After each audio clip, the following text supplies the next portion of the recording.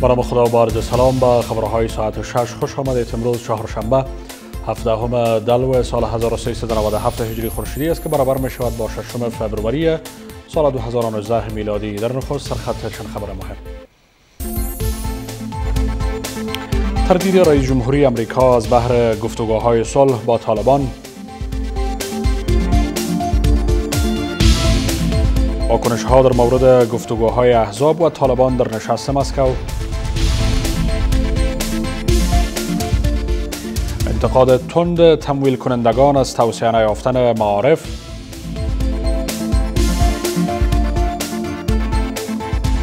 کاهش 60 درصدی مبادلات کالاهای بازرگانی افغانستان با پاکستان. و متهم شدن امارات متحده عربی به فرستادن جنگ افزار به شما نظامیان یمن. مشروع خبرها. برای توافق سیاسی در افغانستان گفتگوها با طالبان را سرعت بخشیده ایم رئیس جمهور ترامپ می افزاید که نمی‌دانیم در گفتگوها با طالبان به توافق خواهیم رسید یا نه اما تلاش هایمان را در این زمینه ادامه می دهیم در این حال وزیر خارجه امریکا می گوید که تا تامین صلح اتحاد نظامی افغانستان و امریکا برقرار خواهد بود. از سوی هم ازبکستان از آمادگی کشورش برای برگزاری نشست صلح میان طالبان و دولت افغانستان خبر می دهد. رئیس جمهور ترامپ پس از یک ماه تاخیر امروز به وقت واشنگتن به کانگرس حاضر شد و سخنرانی سالانه خود را ایراد نمود. اما این سخنرانی در کنار موضوعات گوناگون نویدی هم برای روند صلح افغانستان داشت. هرچند تلاش ها برای کشانیدن طالبان به میز گفتگوها با حکومت افغانستان جریان دارد اما دونالد ترامپ گفته است که مشخص نیست آیا این گفتگوها به توافق خواهد رسید یا نه ولی برای صلح افغانستان تلاش ها ادامه خواهد داشت. ما نمی‌دانیم که آیا به توافق می رسیم یا نه اما می دانیم که پس از دو دهه جنگ زمان تلاش برای رسیدن به صلح رسیده است. طرف دیگر می خواهد همان کار را انجام دهد. طرف مخالف نیز بسیار خوشحال است که با ما گفتگو کند.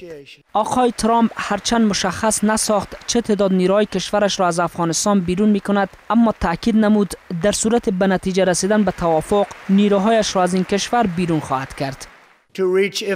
در صورت پیشرفت در گفتگوها میان نمایندگان امریکا با طالبان قادر خواهیم بود حضور سربازانمان را کاهش دهیم و توجهمان را بیشتر روی مبارزه با حراس افغانی متمرکز سازیم.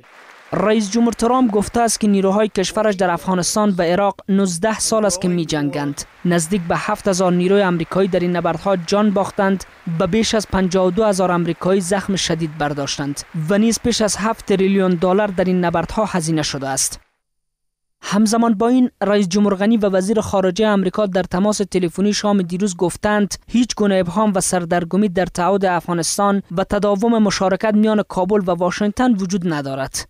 د افغانستان حکومت د امریکا حکومت سره ژورې ستراتیژیکې اړیکې لري او دغه اړیکې د دواړو هیوادونو پر مشترکو ګټو ولاړې دي از سوی دیگر وزیر خارجه ازبکستان در دیدار با نماینده سازمان ملل متحد در امور افغانستان گفته است تاشکند آماده است تا میزبان گفتگوهای رو در روی طالبان با حکومت افغانستان باشد.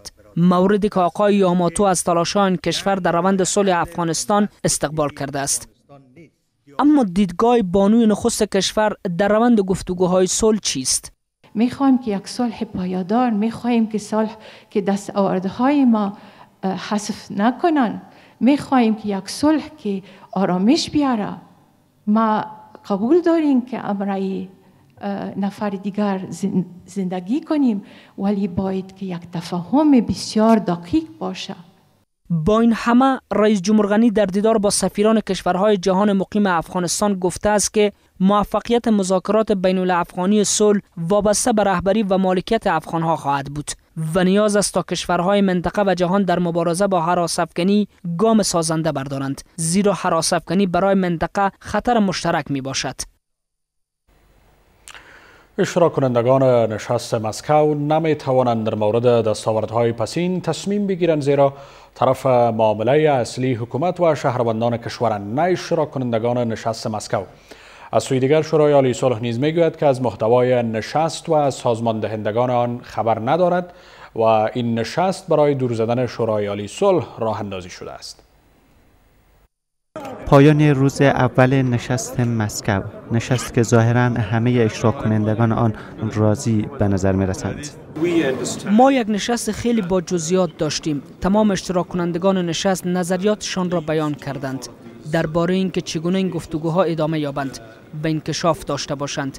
این نشست برای همه قابل قناعت بود. رئیس هیئت طالبان نیز در اینجا موضع نرمتر نسبت به موقف گیری های پیشینش دارد. نشست امروز خیلی سازنده بود. من از برگزاری این نشست خرسند و راضی هستم.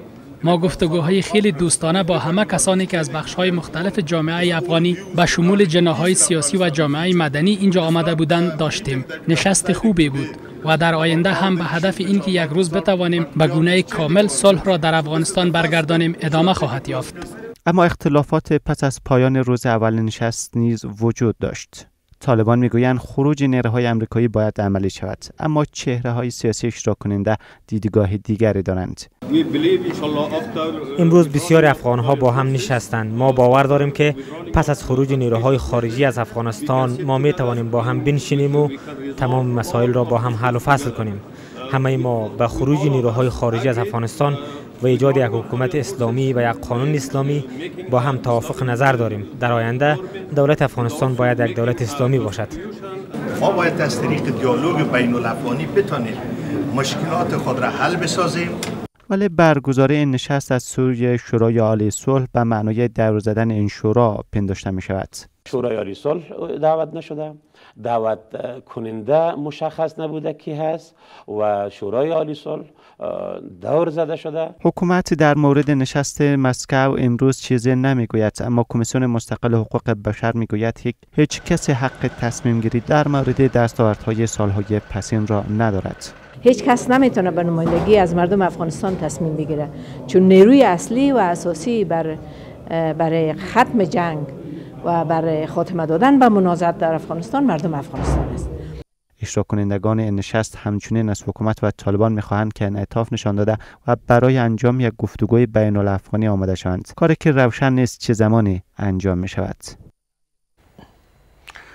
شماری از تمویل کنندگان حکومت افغانستان از توصیه نیافتن معارف سخت انتقاد می‌کنند. آنان می‌گویند بر بنیاد بررسی هایشان باید همکنون حضور دانش آموزان دختر به 90 درصد می رسید اما بر بنیاد آمارها بیش از نصف دختران از رفتن به مکتب باز ماندن. از سوی دیگر سرپرست وزارت معارف می افزاید که همکنون نزدیک به چهار میلیون کودک از آموزش به بهره اند که 75 درصد آنان را دختران تشکیل می دهد نعمت الله حبیبی. رونمایی کارشیوه آموزش و پرورش برای دختران از سوی شمار از نهادهای جهانی و وزارت معارف امروز در کابل. در این مراسم شمار از نهادهای تمویل کننده معارف از وضعیت آموزش و پرورش در کشور ابراز نگرانی می کنند. آنان می افزایند بر بنیاد بررسی هایشان باید هم اکنون حضور دانش آموزان دختر به 90 درصد می رسید اما بر بنیاد آمارها بیش از نصف دختران در نقاط گوناگون کشور از رفتن به مکتب باز ماندند.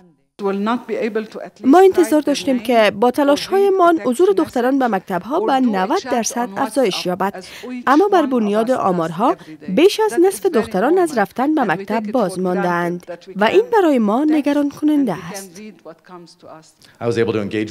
ناامنی و ناداری از عواملی که سبب شده است دختران بسیاری از رفتن به مکتب باز بمانند.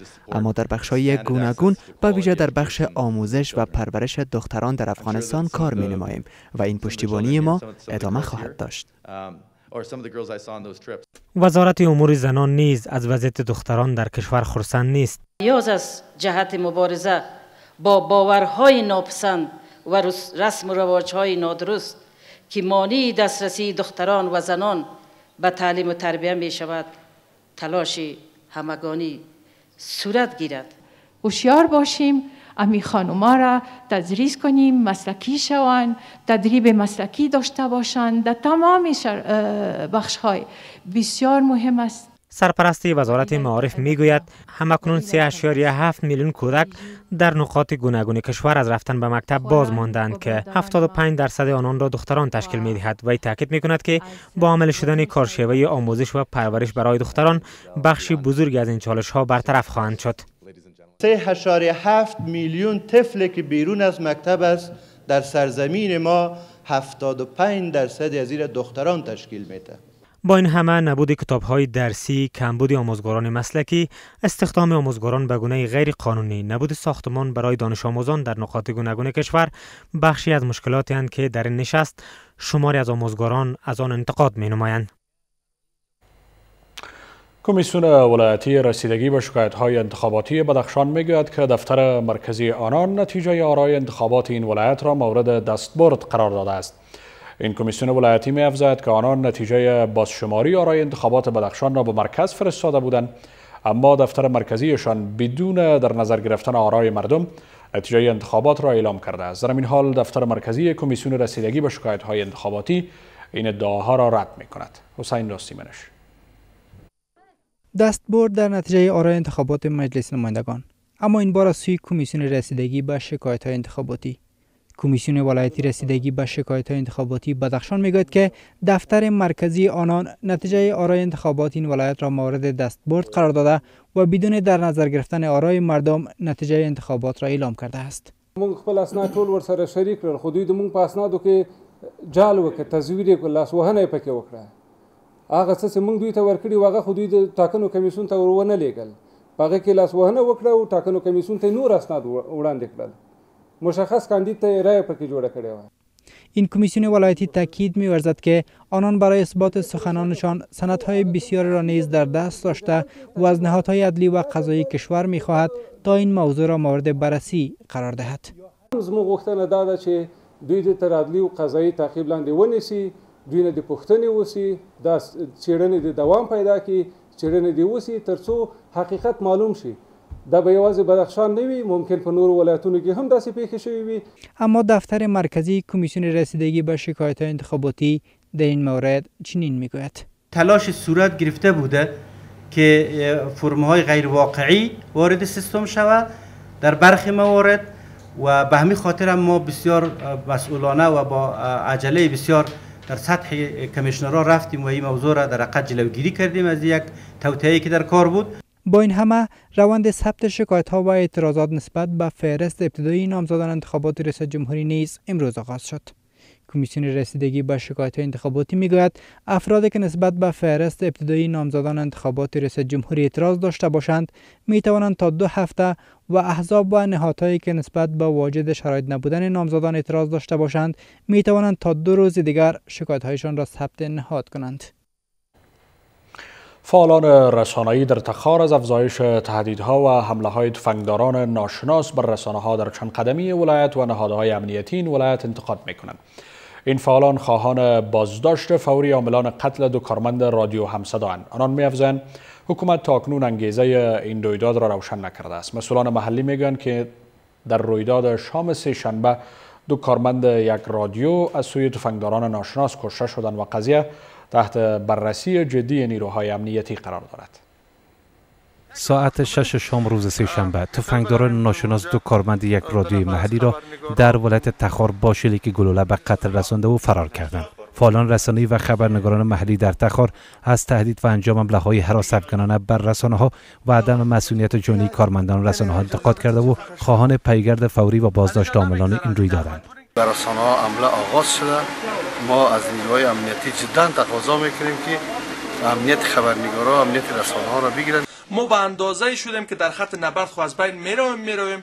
در جای کارمون در استودیو در داخل محل کارمون میدارن ما را از بین می‌برن. ما از حکومت افغانستان خواهش نداریم از جامعه جهانی خواهش ما است که در مورد حفظ جان و مال خبرنگاران توجه بفرمایید. حمله بر رادیو و رسانه ها نمادی از وحشتگری و خودستیزی افراد مسئله ناشناس است که سخت ما را نگران ساخته از این ناحیه خانواده مطبوعات عزادار است و خواست ما از نهادهای عدلی و قضایی بخصوص حکومت محلی و مرکزی است که در قسمت پیگیری این قضیه هر چه اقدام بکنه. مسئول رادیوی هم صدا که رسانش مورد حمله تفنگداران ناشناس قرار گرفته و دو کارمند مربوطش به قتل رسیده از نهادهای عدلی و قضایی خواهان روشن شدن انگیزه این رویداد است. این مسئله بسیار نگران کننده هست برای برای رسانه ها و برای مردم. ما از حکومت جدا می‌خواهیم که جلوی افراد مسئله غیر مسئول بگیرند مسئولان محلی می‌گویند بررسی ها در مورد چگونگی رویداد اتخاذ شده و تلاش ها برای شناسایی عاملان اصلیان جریان دارد. دو فرد مسئله غیر مسئول داخل تعمیر رادیو هم صدا میشن. دو خبرنگار در اونجا به شهادت میرسونن. پلیس به تعقیبی مسئله است. انگیزه از تا هنوز مشخص نیست. جزئیات انکشاف کرد با شما شریک می‌سازیم. و ایجاب تحقیقات و بررسی بیشتر می‌کنه این موضوع که همه کنون مدیریت جنایی روی این موضوع کار است و دو نفر از کارمندای دیگه از این شبکه که شب یکیش در بوده و یکیش خارج از این اداره بوده اونا رو هم با خود بردن که از اینا هم پرسپال کنن. تماما موضوعات از که جنبندی شد ما می‌تونیم که باز به خدمت شما دوستا ایره بیان کنیم. شفیق آریا و رحیم الله رحمانی مجری برنامه های اجتماعی رادیو همصدا بودند که روز گذشته به قتل رسیدند خبرنگاران مسئولان امنیتی را به بیکفایتی متهم کرده و می‌گویند قتل دو کارمند رسانه‌ای در چند قدمی فرماندهی پلیس مقام های ولایت و ریاست امنیت ملی صورت گرفته است. و حالا وقفه کوتاه.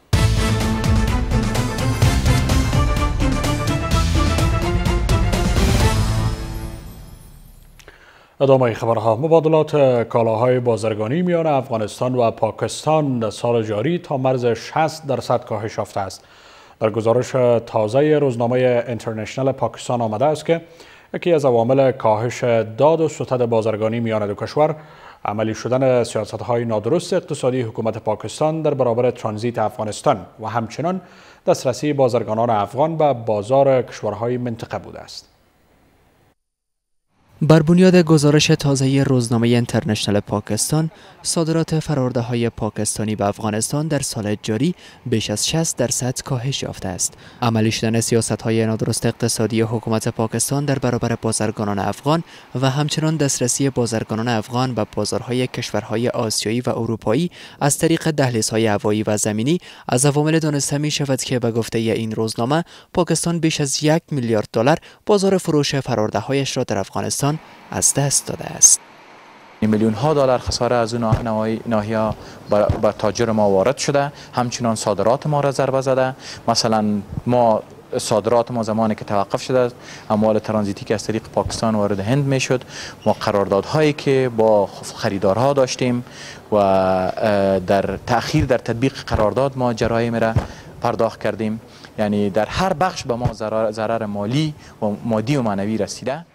در چند سال پسین کالاهای بازرگانی پاکستان در افغانستان بازار پر رونق داشت و مبادلات کالاهای بازرگانی میان دو کشور به بیش از 2.5 میلیارد دلار در سال می رسید که بخش بزرگ آن را صادرات پاکستان به افغانستان تشکیل می‌داد.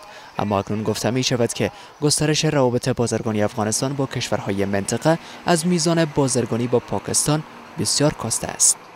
همیش دید ما می بوده که ما در برابر صادرات و در برابر همگرایی منطقه باید خصوصا در برابر ترانزیت و تجارت کشورهای منطقه با هم باید بیشتر تفاهم کنند تا که بتانیم رشد اقتصادی در منطقه و منطقه اقتصادش رشد پیدا کنه بر بنیاد آمارها صادرات افغانستان به پاکستان در سال 2018 میلادی به 280 میلیون دلار می رسید و واردات از پاکستان 800 میلیون دلار بوده است.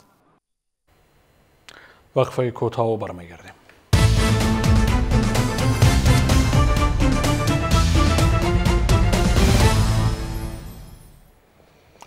خبرهای جهان سازمان عفو بین الملل امارات متحده عربی را متهم به فرستادن جنگ افزار به شبه نظامیان در یمن کرده است و گزارش خبرگزاری ریوترز در گزارش این سازمان آمده است که جنگ افزارهایی که از سوی غرب و دیگر کشورها برای نیروهای دولتی یمن تدارک شده است از سوی امارات متحده عربی به شبه نظامیان فرستاده شده که متهم به ارتکاب جرایم جنگی هستند حکومت امارات متحده عربی این اتهامات را رد کرده است